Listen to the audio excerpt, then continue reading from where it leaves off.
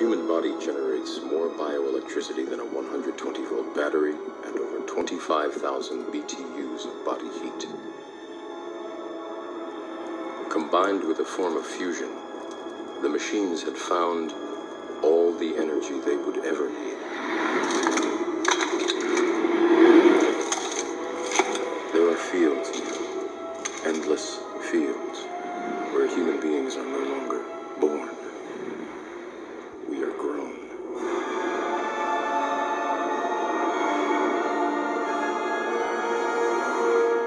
For the longest time, I wouldn't believe it.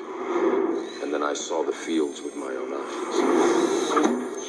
Watched them liquefy the dead so they could be fed intravenously to the living.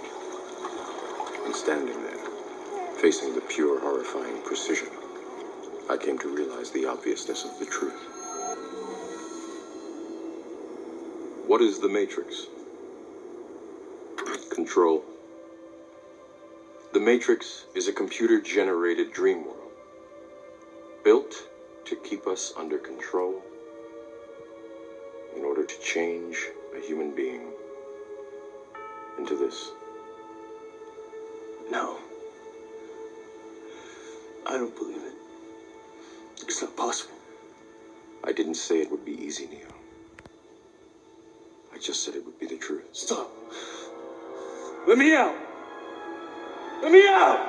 I want out. Easy, Neo.